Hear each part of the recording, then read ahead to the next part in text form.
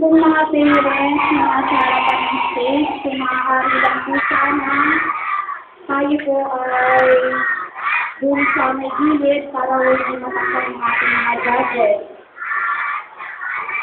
Maraming salamat po.